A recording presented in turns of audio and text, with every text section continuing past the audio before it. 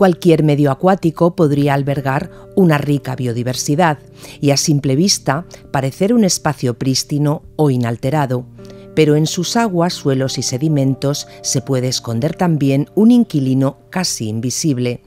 Son los contaminantes una amenaza velada de nuestros más valiosos ecosistemas.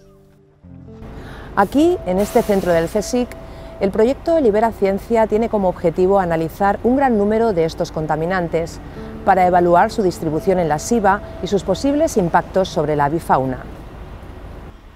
Provienen mayoritariamente de la actividad humana, ya sea agricultura intensiva, carreteras, vertederos, industria o depuradoras, en estas últimas por no estar preparadas para su eliminación definitiva.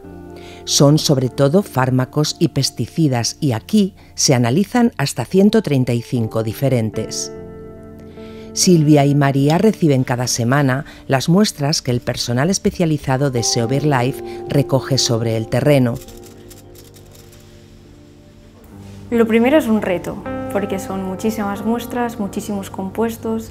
Día a día tienes que adaptarte a las muestras distintas, a tener un volumen de, de faena muy elevado.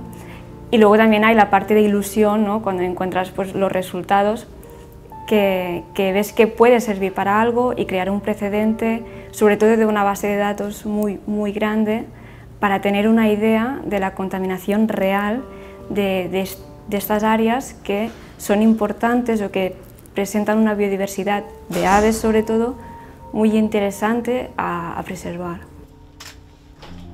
España uh, es un país donde se consumen grandes cantidades de fármacos y, dentro de los que se consumen hemos seleccionado aquellos que se consumen a, cantidades más elevadas y que son más persistentes y más tóxicos para el medio ambiente. Por ejemplo, la metformina, el homeoprazol, la furosemida, la moxicilina. A nivel de pesticidas, tenemos que tener en cuenta que la mitad del territorio de la península es territorio agrícola. Esto quiere decir que se utilizan grandes cantidades de pesticidas, básicamente se utilizan 10.000 toneladas de pesticidas anuales y esto corresponde pues, a más o menos 200 ingredientes activos. De hecho, hay una parte desesperante, que es ver que, que la contaminación por productos químicos pues, está ampliamente distribuida casi a nivel difuso por, por, todas las zonas que hemos muestreado. No quiere decir que las concentraciones sean elevadas, pero siempre hay algún fármaco, siempre hay algún pesticida que, que aparece en las muestras. Entre los fármacos que detectamos más, uh, cafeína y nicotina, que son fármacos, pero básicamente son indicadores de, contamina de contaminación uh, urbana. La metformina, que, bueno, para dar un dato, ¿por qué detectamos la metformina en aguas? Pues el consumo de metformina diario en España son de casi 3 toneladas. Esto quiere decir que una tonelada, que es como el peso de un elefante, pues se dispersa en los sistemas acuáticos y de forma continua.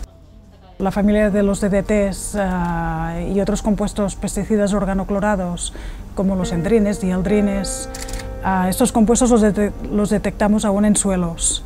Y esto es debido al uso que se hizo uh, en los años 60, 70, 80 en, en, en agricultura y como que son compuestos muy persistentes en el medio, se van biomagnificando a lo largo de la cadena trófica llegando a las aves. Ah, en estudios previos hemos analizado DDTs, por ejemplo, en milanos de la zona de Huesca y siempre detectamos el DDT. Y también hemos encontrado DDT, por ejemplo, en, en pollos de alimoches. Y esto quiere decir que las madres que acumulan este compuesto lo transfieren a los huevos y a los pollos. El equivalente de una aspirina con estos compuestos pues podría podría matar a una, a una, colonia de melanos, por ejemplo.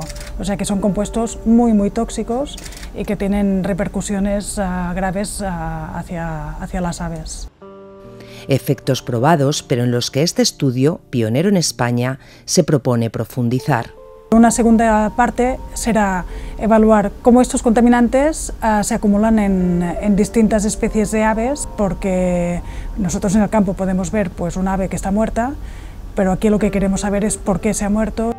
Claro, al final haces un trabajo ¿no? para poder mejorar la situación en un futuro y lo que se esperaría de estos resultados es que sirvieran para intentar evitar que estos contaminantes acaben llegando en el medio y para también dar a conocer una problemática real y ponerle números a esa problemática. Si esto se hace una vez, bueno, tendremos una foto de lo que está pasando ahora, pero no podremos evaluar si las medidas correctoras pues, tienen un efecto sobre la calidad del medio. Aquí hay trabajo de todos que tengan el mismo objetivo y esto sería el gran reto que nos tendríamos que poner.